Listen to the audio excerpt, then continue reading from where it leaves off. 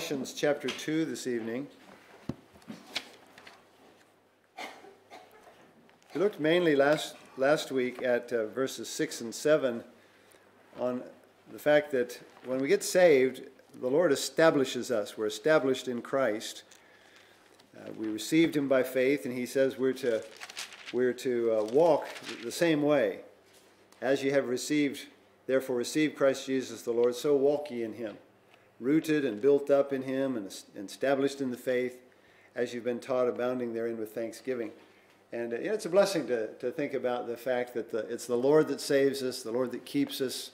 Uh, we, we're not trusting ourselves, we're not trusting our good works. Uh, I'm, I'm reading a book right now called The Reformers and Their Stepchildren.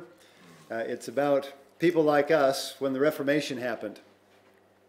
And, uh, you know, all since not long after Christ, it's mainly been churches who believed in salvation by works and those who believed in salvation by grace.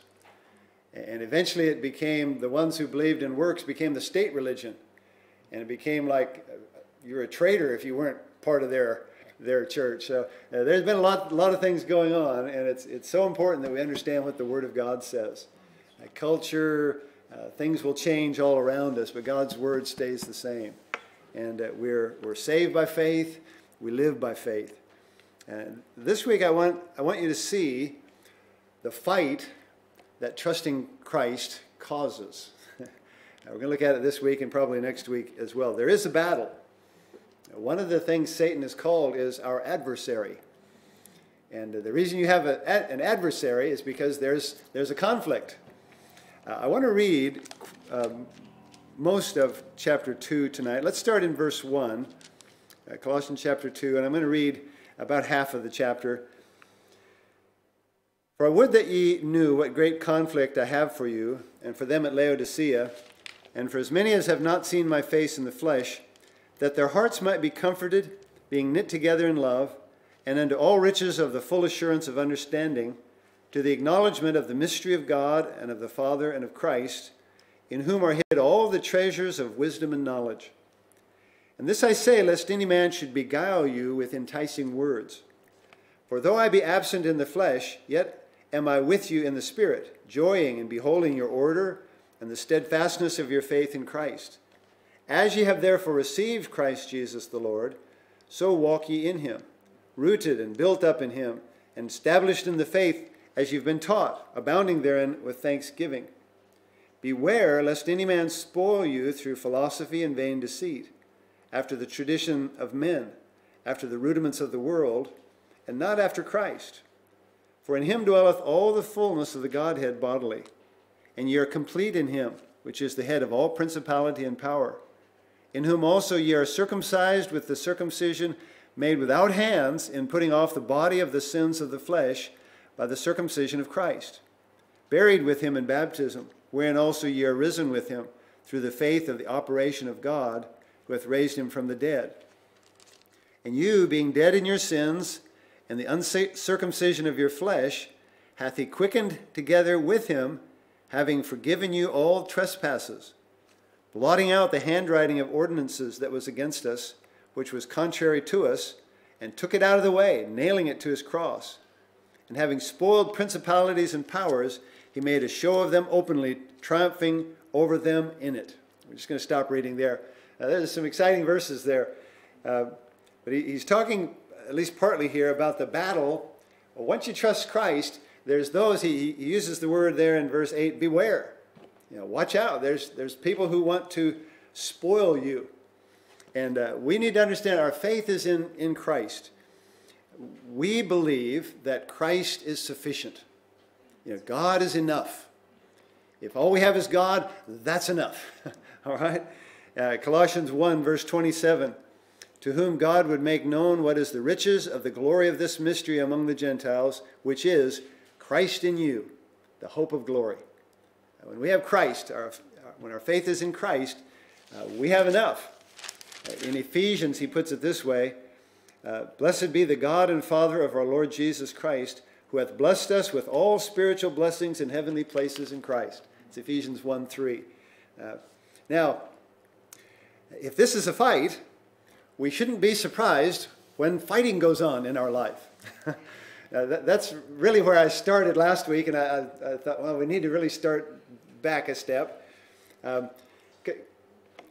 even as Christians, we're going to have times when things are upsetting. We're going to have times when things are in conflict in our lives. And we need to understand, uh, you know, God has said, for instance, in Jude and uh, verse 3, we need to be willing to contend for the faith. Uh, he uses that, that expression in, you can't say Jude 1, but verse 3. Uh, he says, It was needful me to write unto you and exhort you that ye should earnestly contend for the faith which was once delivered unto the saints. We're not getting new loads of faith. All right, He's not continually changing it. Uh, God has given it to us, it's been delivered, and uh, part of our life as Christians is contending for the faith. Uh, you need to ask yourself are you willing to contend for the faith? Uh, when you got saved, uh, I don't know, I never had this happen when I was a kid, but you know, I used to hear about people say, you step across that line and boy, we're going to have a fight, you know. Uh, you put your toe across that line. Well, we've stepped across the line when we got saved. Uh, we said, okay, I'm on the Lord's side. What are you going to do about it? Well, the devil, the world, the flesh, and the devil, they do things about it, but they can't take it away. And Christ has already, already won the victory. Now, it's a very, uh, well, look at Colossians 1, verse 13, for instance. He shows us this difference. Who hath delivered us from the power of darkness and hath translated us into the kingdom of his dear Son. You see, there's the two sides uh, the darkness and the light. What we were before, what we are now in Christ. In uh, 2 Corinthians 11 3, he says that it's a very simple pro- proposition.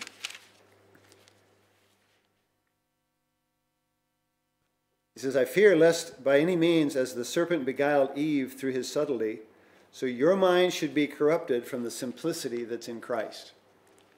Our relationship to God through Christ, it, God said, is very simple. When I was younger, they used to pass out multitudes of tracts, God's simple plan of salvation. They're still around. It's still the same plan. Uh, it, it's a very simple proposition. We're either on the Lord's side or we're not. And if we're on the Lord's side, there's things He says that are true. He says he'll never leave us, and, and so on. Uh, many, many promises. And the question that we need to ask ourselves is will I trust Christ or will I trust something else? See, when we talk about living by faith, we're talking about trusting Christ. The, the contention is to keep trusting Christ. You know, that, that's the battle. Now, I'm not, I need to be careful how I phrase this. I'm not saying you can, you can quit trusting Christ if, if you're saved. Uh, but as Christians, we need to be careful that we're living, um, that we hold to God's word. And that we're not letting ourselves be deceived by other things that would say, oh, trust me. Trust me. The fight is, is very real. Look at verse 8, and this shows us, I, I believe, our enemy's goal. Beware lest any man spoil you. That word spoil means to take captive. You probably heard in battle, you know, they take spoil. When they, when they come in, it can be people, it can be things. That's the spoil. They take it away. Well, the devil wants to do that to us. He wants to take us away, he wants to take us captive. Um, and he talks here about some of his methods. We'll just look at them uh, a, few tonight here. In verse 8, he says, Beware lest any man spoil you through philosophy. Uh, that word just means love of wisdom. And it's referring to human wisdom. If you love the Lord's wisdom, that's, that's not a problem. The thing about philosophy, if you were ever to take a philosophy class, it doesn't have any answers, it just has questions. They're ever searching. It's like the Bible says, and never able to come to the knowledge of the truth. Uh, you know, stop and think about the three main questions of life Where did I come from? Why am I here? Where am I going? Philosophy has no answers to the main questions of life. where did we come from? Ooh, not sure, but we can talk about it a lot. Uh, why am I here? Well, I'm not sure, but you know, what, what do you think? How do you feel about that? Uh, and where am I going? You know, those are three main questions, aren't they? Well, God answers those questions. Philosophy doesn't. And the thing about philosophy, it, it can sound so knowledgeable.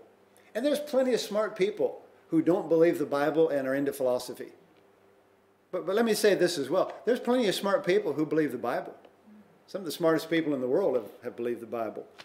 And I, I, think what he's talking about here includes philosophy, includes vain deceit. Uh, vain deceit, the words just mean empty trickery, you know, full of words and, and so on. They give you false impressions. Uh, you would see this in psychology.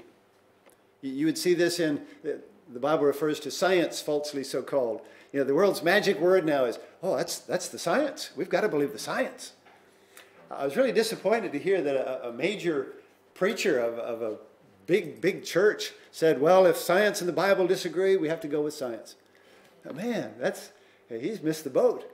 Uh, that's exactly what God is talking about here. Beware lest any man spoil you through philosophy and vain deceit. Uh, he uses then the word after the traditions of men. Uh, the word traditions literally means to give up. uh, traditions are like when you say, okay, I guess I'll just do it like everybody else. you know, instead of being uh, what God wants you to be, you just say, well, everybody else is doing it, I'll just do it that way. And the, the world, the flesh, and the devil know that if, if, you, if you go that way, you won't be living by faith. If all you're doing is, you know, we can, we can live by, um, would it be democracy? You know, when you vote on things, you know, 51% say this is okay. Oh, I guess it's okay. God says that's not the way you decide. Uh, God has revealed uh, what's right and what's wrong. Uh, he also talks about the rudiments, the rudiments of the world and not after Christ. The word rudiments means the elements or the building blocks. It's like letters are the rudiments of words and paragraphs. Uh, the elements are the rudiments of material things. Um, and it, it's like people get so down to the details they miss the message. It'd be like being so concerned about the letters that you didn't worry what the words said. Have you ever heard the expression, they couldn't see the forest for the trees? Uh, it, it's that kind of, of a thing. You're so concerned about the little things that you don't see the big picture. And you can get so involved with the rudiments of the world, things that quite often are true little, little things that are true, and, and then they make presumptions from them. L- let me show you a real negative one in Colossians 3, um, really the whole chapter, but verse 5 Mortify there your members, I'm sorry, mortify therefore your members which are upon the earth. It talks about various sins. Uh, verse 7 In the which also ye, uh, in the which ye also walked sometime when ye lived in them. Part of the rudiments of the world are what the world would call things that come naturally. Now, especially now that many people believe in evolution. Anything you do, they can say, well, that's just, that's just the way we are. You know, if you're immoral, if you steal, if you lie, oh, well, that's, that's just the way we are. That's the rudiments of the world in a, in a sinful, negative way. Um, the natural things well, God says, The natural man receiveth not the things of the Spirit of God, neither can he know them because they're, they're spiritually discerned. Uh, philosophy opposes Christ and the cross. And uh, that's, that's one of the enemies uh, of faith. In uh, 1 Corinthians 1, verses 18 and 19, he says, The preaching of the cross is to them that perish foolishness, but unto us which are saved it is the power of God. For it is written, I will destroy the wisdom of the wise and will bring to nothing the understanding of the prudent. Yeah, there's people who think we are fools to believe the Bible. They think they are so smart. They, you know, they know this and they know that. Uh, they don't stop to think that they don't use a five-year-old science book. They don't use a 10-year-old science book. We use a book that's thousands of years old, and the truth hasn't changed. Uh, uh, their, their ideas keep changing. It's philosophy. And if you want to go by philosophy, that's an enemy uh, of faith. The, the second one that he, he points out here in Colossians 2, I haven't read the verses yet, verses 16 and 17. I, I would label this as legalism. Let no man, uh, verse 16, let no man therefore judge you in meat or in drink or in respect of an holy day or of the new moon or of the Sabbath days, which are a shadow of things to come, but the body is of Christ. See, those were pictures, and, uh, but the reality is, is Christ a lot of religion is ritual, it's external, it's ceremonies that, that people do. Uh, the Bible says Christ fulfilled the law for us. We're, we're not under the law. Uh, verse 14, we'd read, blotting out the handwriting of ordinances that was against us, which was contrary to us. Um, and, and, he starts uh, verse 16 there let no man therefore judge you. Uh, legalism uh, is an enemy of faith. And you know, a lot of people like that. Sometimes that's a person's personality. Sometimes people are kind of legalistic in their personality. They want everything cut and dried in, in a certain way. Uh, listen, if that's your personality, be careful. You want to live by grace. Uh, you know, God made you the way you are for a purpose, and, and He'll use it for good. But uh, if we only go by the law, we're, we're not going to live by faith. And the law is not there to commend us. Uh, it, it was there to show us our need of, of Christ. Legalism is uh, one of the methods that the enemy uses to uh, spoil us. Thirdly, verses 18 and 19, you might call this mysticism. Let no man beguile you of your reward in a voluntary humility and worshiping of angels, intruding into those things which he hath not seen, vainly puffed up by his fleshly mind, and not holding the head from which all the body by joints and bands having nourishment ministered and knit together increaseth with the increase of God. Can you see some of the things he's talking about there? Uh, very current, isn't it? You know, people worshiping angels, people talking about uh, you know it's different spiritual experiences that they've had, and you may have experienced this. Uh, people like this try and intimidate you with their spirituality. Oh well, listen, God told me this. Uh, I was walking along and, and this happened. Or I saw this. I uh, heard one lady said that you know, their plane was bouncing and she looked out and there was an angel holding up the wing of their, of their, of their airplane. Well, you know, what do you say to that? uh, we need to be careful that we're not living by mysticism, that we're not worshiping the experience. He, he uses the expression there, the words, let no man beguile you. Uh, that word beguile means defraud. Uh, that's a kind of a legal term. Uh, to uh, uh, trick you and take away something that, that you, uh, that's yours. They're trying to steal away your, your faith. Visions and, and, all kinds of things people talk about, very mystical things. There, there's a good illustration of this, and we won't go into it. You can look at it later in 1 Kings 13. You probably know the story where uh, a young prophet, God sends him to talk to, I think it was Jeroboam, and he tells him, You give him that message and you get straight home. Well, after he gives the message, an older prophet says, God's told me that you're supposed to come visit with me. Well, God hadn't told him, and God punishes the young prophet for his, his disobedience. Uh, that happens a lot, where people say, Oh, I, I know more. I'm more spiritual. Uh, watch out. We need to live by faith. And then the, the fourth one that uh, you see here, let, let me read in verses 20 and following. The, the word that I'd use here is not a common word, asceticism.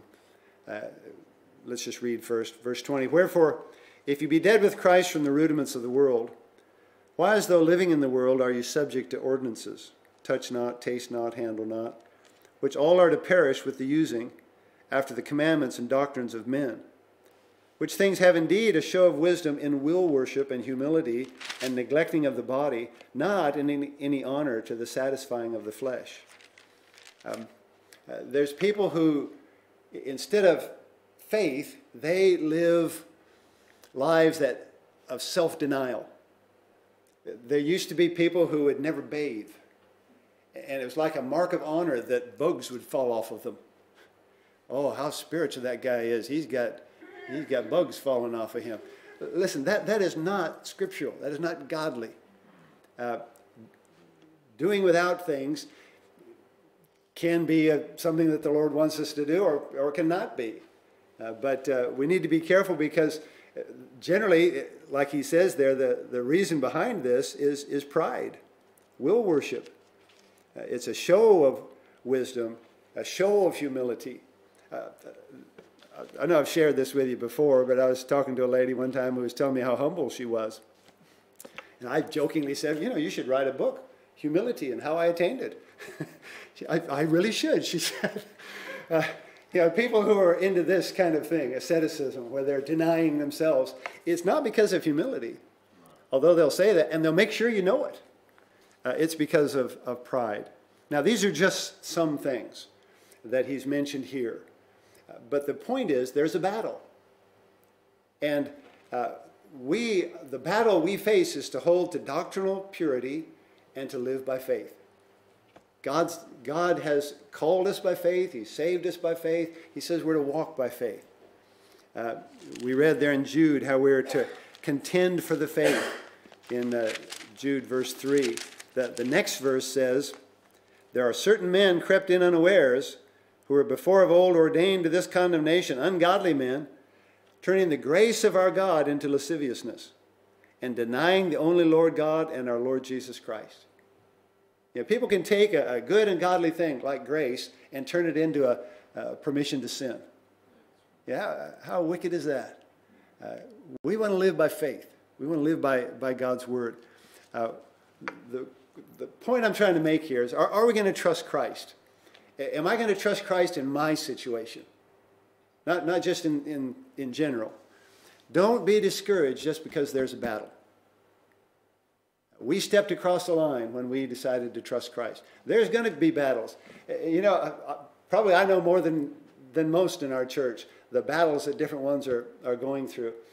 We all face battles. Me too. and, uh, you know, there's, there's things you, you know about people, there's things you don't know. And I'm sure it's the same about you. There's things you don't share with anybody except the Lord. But don't be surprised that there's a battle, but do trust the Lord. We're saved by faith. Let's, let's live by faith. Let's walk by faith. And uh, really, what the, what the Bible is saying here in Colossians is uh, we have everything we need in Jesus Christ. If uh, the world takes this away and that away, uh, we can live without this and that. But they can't take Jesus away.